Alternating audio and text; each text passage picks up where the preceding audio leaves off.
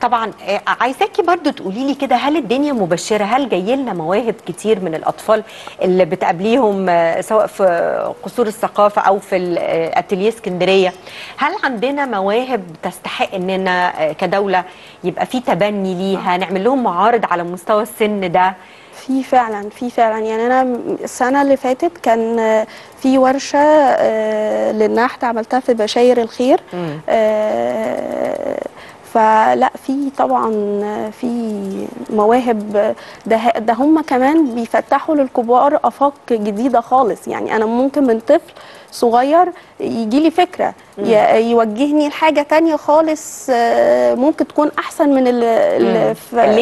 آه. آه، متخيلاها آه يعني في أطفال آه، رائعين بصراحة طبعا أنا بتمنى يعني آه، إن يبقى في ناس زيك في في الحقل التعليمي. ليه؟ لأن إحنا عايزين المدرسة تخرج في النهاية واحد آه، أو واحدة يعني مثقف آه، ال- التلميذ يبقى مثقف وفي نفس الوقت عنده هواية وعنده حتى المبادئ الرئيسية من أي فن من الفنون. علشان بعد كده حتى يبقى له الحق في اختيار هو بيحب إيه يعمل إيه. تبقى دي من أساسيات الحياة إن كل واحد آه، عنده حاجة بيتقنها على الأقل.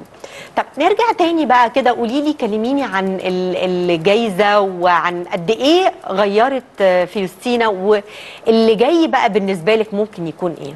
هو صدقيني أنا يعني أول ما يعني أنا كنت في شغل وبعدين كلموني فاللي هو إحساس غريب إحساس آه، ما- يتوصفش يعني مبسوطة جدا قلقانة متوترة. دي مسؤولية كبيرة يعني آه، إن أنا دي أي فرع من فروع جوائز الدولة دي آه، إيه آه، الجائزة التشجيعية التشجيعية. للنحت. آه. للنحت. فطبعا دي حاجة كبيرة جدا يعني جايزه دوله فطبعا يعني بداية مشوارك آه، الفني بتبدأي بجايزة؟ مسؤولية كبيرة جدا جدا جدا يعني. ويعني شعور متضارب توتر آه، فرح فظيع. وبأمانة يعني بتمنى إن كل زمايلي بجد ياخدوا الجايزة دي لأن دي حاجة مهمة جدا ويحسوا بالشعور اللي أنا حاساه شعور جميل جدا يعني.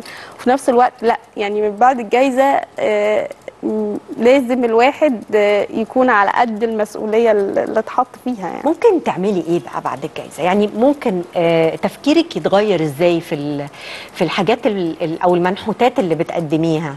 أكيد برضو وجودك مع يعني عدد من الفنانين في كل المجالات برضو بيدي كده يعني أفكار وناويه حاجة تانية مختلفة. طبعا. هو طبعا لازم الواحد يشتغل على نفسه ويثقف نفسه. كل ما يعني بالذات إحنا كمان في النحت أو في أي مجال. مم. يعني ما فيش حاجة اسمها أنا كبرت لأ أو أنا أخدت دي لأ أنا لازم طول ما أنا عايشة بتعلم. تكملي. بكمل بتعلم.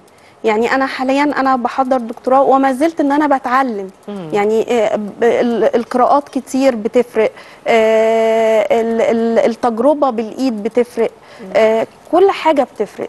فطول ما إحنا شغالين على نفسنا سواء بالثقافة والقراية سواء بالعمل العملي ده طبعا بيفرق كتير. يعني مم. ده بيطور آه، يعني حتى الإنسان هيحس بنفسه لأ أنا اتطورت من النقطة دي للمرحلة دي. وده فعلا اللي أنا بحسه في مراحل الشغل بتاعتي. مم. آه، كنت الأول إيه وبعدين في مرحلة بقيت إيه ودلوقتي بقيت إيه. مم. فلازم يبقى كل واحد شغال على نفسه. قولي لي كده آه، إيه رأيك في اللي بي- بيتحط المنحوتات اللي بيتم اختيارها للميادين.